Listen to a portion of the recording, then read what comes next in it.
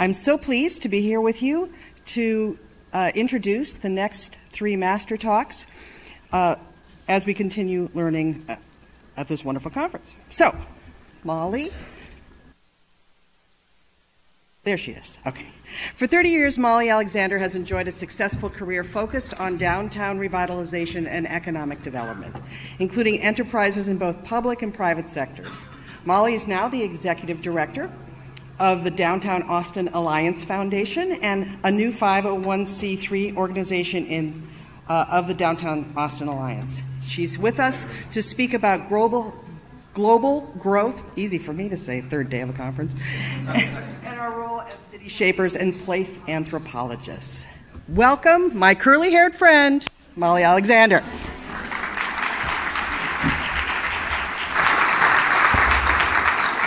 Good morning. I am so excited to be here. Um, I so appreciate this opportunity to engage with you about our role as city shapers and place anthropologists. Place matters. Place matters in our personal lives. Think about the special places that matter to you. For me, one of my favorite places is Barton Springs a public spring fed swimming hole that is 68 degrees year round. I swim here every morning. Yes, even in the winter. And as I ease into the cool waters, I think about my day and try to let go of my stress and get centered.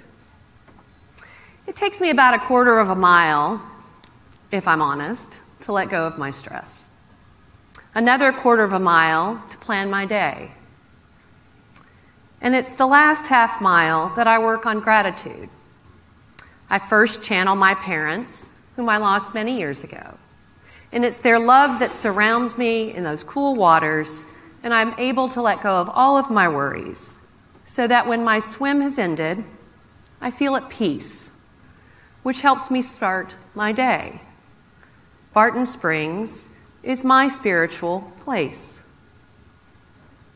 Place matters in the life of our community. Places can unite and divide us. They can make us feel empowered and they can make us feel belittled, make us feel welcome, or shut us out completely. Place is powerful. Millennials, I know you're really tired of us talking about you.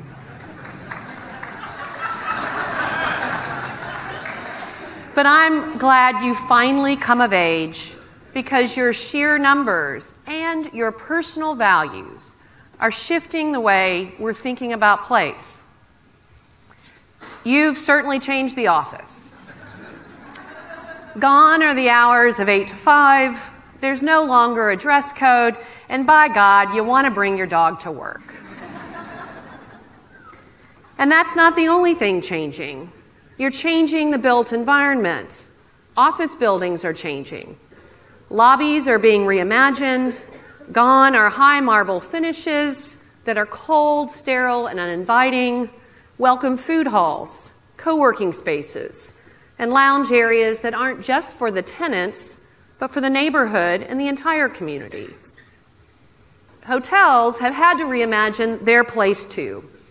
Hip new designs, outward facing restaurants, and yes, walk up food windows.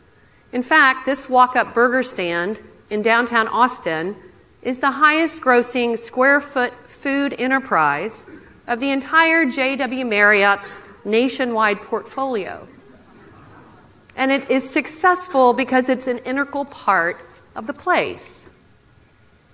We are also seeing changes to your choice of home.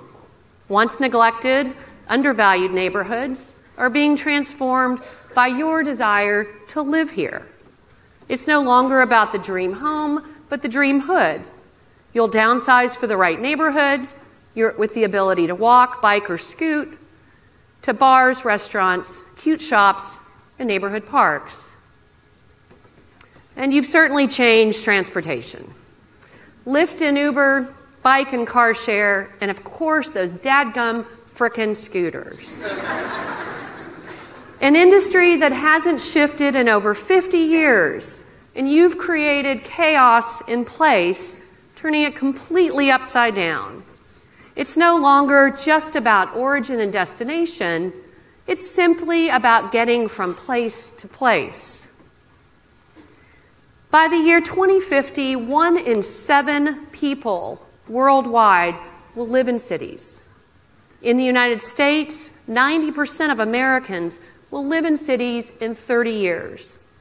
This global shift to cities has huge implications in our lives and our work as city shapers.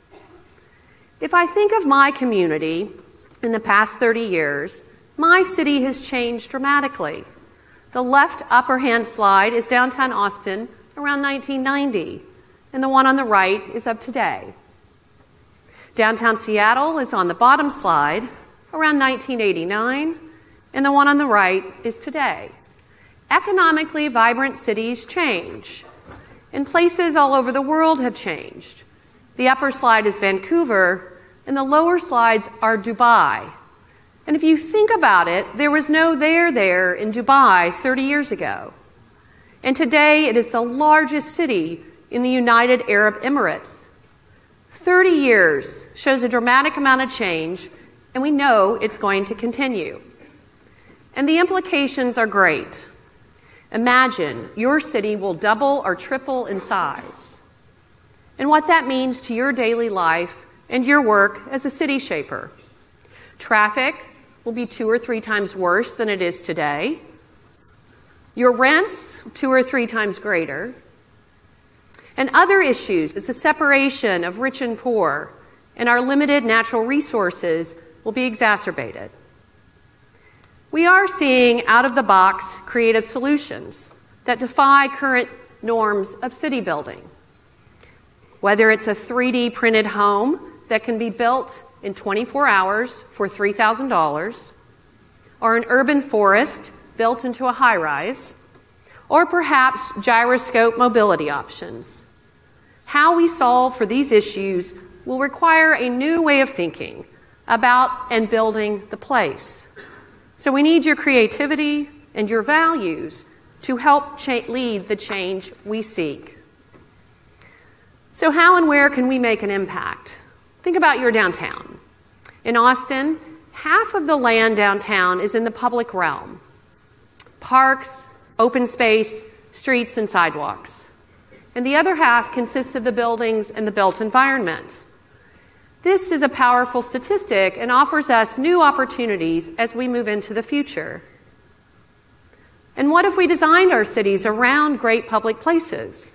If the public realm was the first part of the design, not it as an afterthought. How might we incorporate people into the place? Not unlike flexible co working spaces, what if we looked at the public realm and worked to flex its uses? What if there were no lines in the streets? And how could we manage them based on needs and demand? At rush hour, the majority of the land potentially could be used for mobility and moving people. On Saturday morning, a market, Tuesday afternoon, a cafe. How might we help future proof the demands and needs of the place and still create meaningful places for our shared experiences? And how might we think about the voids in our cities and take underutilized places and create affordable, small emerging shops for entrepreneurs and retail stores? In the UK, Boxpark was created in an unusable space next to the freeway, an entire dead zone, transformed into ne- neighborhood retail and restaurant space using shipping containers. When my partner and I were in Aspen, Colorado this summer, we were having a picnic lunch when all of a sudden a hailstorm had us running for protection. We found ourselves taking cover in a temporary theater, and it surprised, delighted, and inspired me to think about how might we create new theater and creative space venues that could help solve for the loss of theaters and creative spaces in our communities where rising costs are moving out the creative class. When we make vibrant active and economically prosper, prosperous communities, we unintentionally and intentionally gentrify and displace small businesses, artists, and those who are underserved by our community. So, how might we think about utilizing the public realm not only for activation, but also for inclusion? I was in Denver earlier this year and visited a new tiny home community in the RiNo District. The artists in this community realized that they needed to help provide solutions, not just displace people. And they built tiny homes for people experiencing homelessness in an underutilized tract of land near transit. Imagine yourself in an empty lot or under a bridge. What could this place become, and how can we provide it meaning? As a Gen Xer, I've had to get over my preconceived ideas about many things. Nine to five, for example. After I moved past the idea that millennials didn't have the same work ethic as I did, I came to love the freedom you gave me, unlocking my own biases about what a work ethic actually means. As city shapers, how can we unlock our biases toward what we think is right and how we build our cities? Place shapes who we are as individuals. It provides us a depth that is hard to explain. And when places resonate with us, we will share them, we will take care of them, and we will remember them always. If places shut us out, restrict our creativity, and don't adapt and change, then they have failed us and will be the burden of future generations. You brought your razor scooters into adulthood and shifted transportation and the way we think about getting around in our cities. I cannot wait to find out what else is possible. Thank you.